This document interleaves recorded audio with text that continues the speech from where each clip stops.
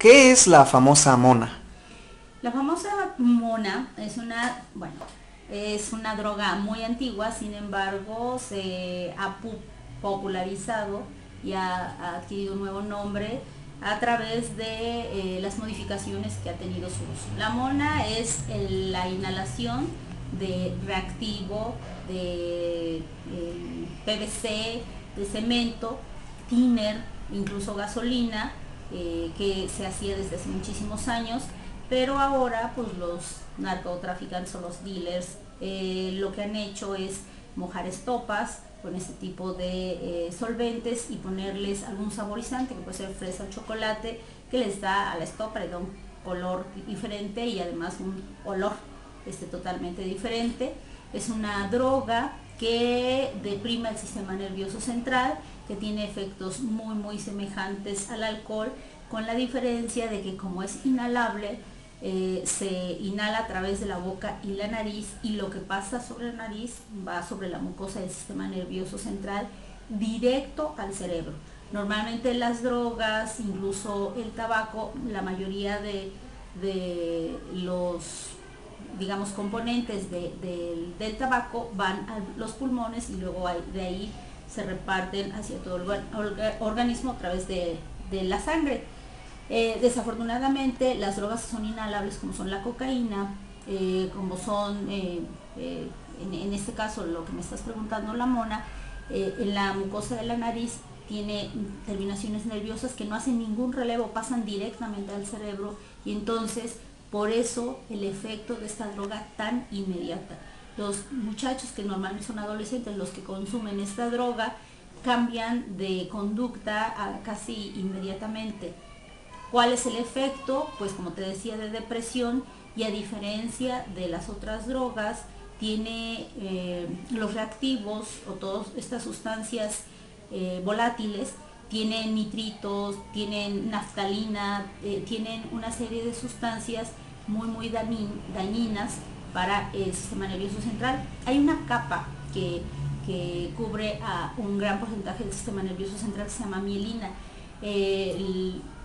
es, esa sustancia, la naftalina, la que es, es un compuesto que está preparado, no sé si ustedes conozcan, unas bolitas que se utilizan para proteger la ropa, para que no se eh, pique la ropa cuando está guardada por mucho tiempo. Bueno, pues esta, esta sustancia hace que se, desmi, se, se quite esta capa de mielina y lo que hace es que eh, toda la capacidad, a, largo plazo, toda la capacidad de los nervios que tienen que ver con el movimiento se vaya perdiendo. Incluso estos muchachos a largo plazo pueden presentar eh, un, trastorno del sistema nervioso central muy parecido a la eh, esclerosis múltiple, que ustedes saben que pues es eh, terminan estas personas por quedar totalmente en cama hasta... ¿Qué tan adictiva es? Mira, es súper adictiva porque la generación de la adicción de cualquier tipo de droga es a nivel cerebral. Y si te comento que esta droga pasa inmediatamente al sistema nervioso eh, central, o sea, al cerebro, eh, obviamente que el proceso de adicción es muy corto es mm, digamos un poquito más largo que la heroína, porque la, heroína normalmente se consume y ya, una vez se consume ya hay adicción. En, este caso, pues yo creo que un inhalador puede experimentar una semana, por ejemplo, y luego la siguiente semana, pero te puedo asegurar que a partir de la tercera semana ya va a tener necesidad de consumir. Eh, ¿Cuánto dura el efecto de esta droga, por ejemplo, si la inhalo? ¿Cuánto me va a durar? nada más inhalas una vez, que eh, pocas veces se hace, pues el efecto te durará unos 20 minutos máximo, pasará inmediatamente, pero desafortunadamente eh, cuando tienen eh, la estopa o la bolsa del cemento, como ustedes pueden haber visto alguna vez en su vida, o, se pegan a la gasolina, que la gasolina también tiene gases volátiles que hace adicción, lo hacen no solo una vez, lo hacen 5, 6, 7, 8, 9, 10 veces y esto eh, hace que el efecto en algunos casos, dependiendo del número de inhalaciones, dure hasta 12 o 24 horas. Eh, desafortunadamente el, asunto es que, por ejemplo, yo te decía que el sistema nervioso central se deprime Y la consecuencia más inmediata eh, en, el caso de la mona es la muerte, la muerte por asfixia. Eh, por ejemplo, o, por sofocamiento. Asfixia quiere decir que el, muchacho, eh, como se pone la sustancia directamente en la boca, impide la entrada de aire con oxígeno a los pulmones. Entonces la sustancia, los gases, ocupan el lugar del oxígeno y entonces con falta de oxigenación viene un paro respiratorio y se mueren. O en, el caso de sofocamiento, se pegan la bolsa tanto a, la, cavidad oral y a la nariz que impiden, no, o sea, no, no entra ninguna cantidad de oxígeno y entonces por eso pueden morir. O se pueden morir por una, broncoaspiración porque la droga también puede producir vómito y entonces como, como están aquí con su bolsita o, con la botella, con el inhalable o con la estopa en la nariz, como es el caso de la mona, entonces pueden vomitar y, esto les impide que salga efectivamente por la boca el vómito o a veces por la nariz y eso puede producir un broncoespasmo, un bronco la una broncoaspiración, es decir, que el vómito se vaya al sistema nervioso respiratorio, al sistema respiratorio y se muere. ¿Este saborizante también tiene algún efecto o sigue siendo el mismo? No, no, el saborizante solo le da una nueva modalidad a, los inhalables, pero no, no tiene ningún efecto porque son saborizantes que puedes utilizar en otras preparaciones alimenticias sin ninguna toxicidad. Hay un video muy famoso en YouTube precisamente donde te enseña a preparar una mona de guayaba.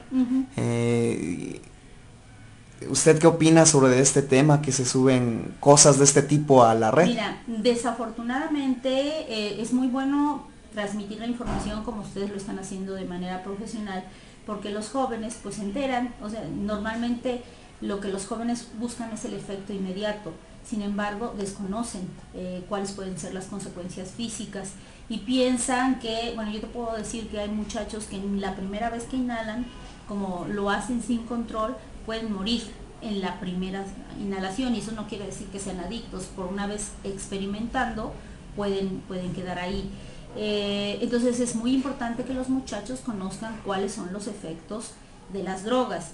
Sin embargo, lo que hacen algunos medios de comunicación, me estoy refiriendo especialmente a los televisivos o a los de las películas que luego nosotros vemos en, las salas de cine, es eh, mostrar explícitamente, por ejemplo, cómo se preparan, cómo se consumen y en qué momentos o situaciones, por ejemplo en el caso de las películas y las novelas, eh, utiliza la gente la droga y lo único que están haciendo es dando información en exceso que va a producir el efecto contrario a la prevención. Lo que está haciendo este, este video, pero no creo que haya uno solo, yo alguna vez he visto otro que no habla de, de esa preparación que me mencionas de guayaba, eh, lo que hace es motivar, incitar al consumo así como algunas músicas, ¿no? O sea, algunas canciones, una, sobre todo los grupos de rock pesado o esos grupos este, darquetos musicales que se conocen, normalmente lo que hacen es una, inducción a la, al consumo de la droga. ¿no? Entonces, me encanta cuando un medio viene y pregunta, porque lo que va a transmitir es información científica, ¿no? No va a promover el consumo de la... El consumo en el Distrito Federal ya es preocupante, ¿no? Sí. Eh, aquí en Puebla, ¿cómo estamos? Eh, bueno, hay chavos que la consumen mucho, todavía estamos. Sí, mira, desde yo te comentaba antes de iniciar esta entrevista que el consumo es prioritario, o sea, es estadísticamente es mayor en la clase baja. Desafortunadamente yo, por ejemplo, conozco el caso en el Estado Federal de un chico de la calle que cuando le entrevistan y le preguntan que por qué consume eh, cemento, por ejemplo, él dice que lo consume porque le cuesta la bolsita, en ese tiempo estoy hablando muchísimo tiempo, esa bolsita le cuesta un peso, ¿no? Y se olvida de comer 24 horas. Y que si tuviese necesidad de comer, pues un peso no le iba a servir para eso, ¿no? Entonces, bueno, no justificas, eh, pero entiendes eh, el razonamiento de este niño.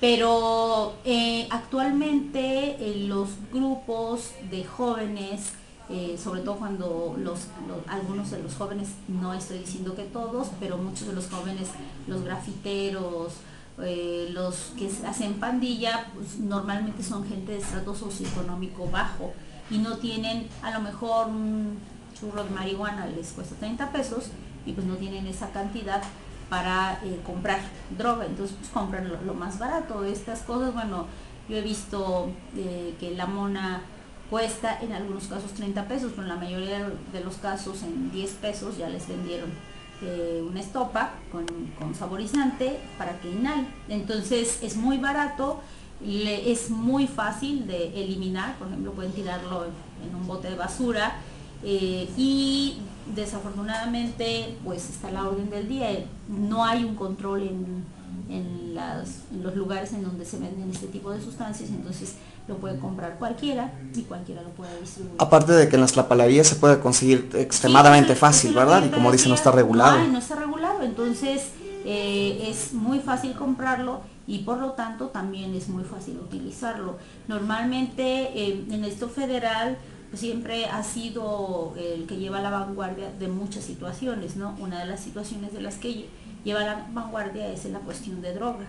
Y eh, son chicos eh, que el, el, medio en donde ellos se desenvuelven no existe la tutela familiar, desafortunadamente los papás trabajan y no tienen dinero para pagarle a una persona para que los cuide y en algunos, en los mejores de los casos los cuida algún familiar o algún vecino. Entonces ellos están solos y tienen la posibilidad de salir a jugar con sus eh, compañeros o de convivir mucho tiempo con sus compañeros, aparte de los conflictos familiares, los problemas personales que hacen que ellos vayan. En Puebla, eh, afortunadamente, todavía no tenemos esta bronca, la tenemos a nivel de los niños de la calle, de los niños de clase media baja o baja, es decir, de escasos recursos.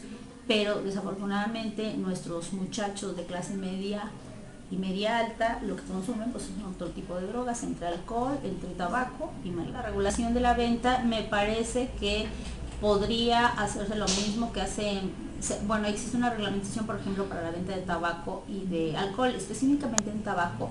Eh, por ejemplo, no está permitido que se venda el tabaco eh, por separado, o sea, no se puede vender un cigarro. Sin embargo, si tú vas a cualquier expendio, que no sean las tiendas de conveniencia, pues tú puedes encontrar a cualquier persona vendiendo cigarro, ¿no? Entonces no se obedece la normatividad.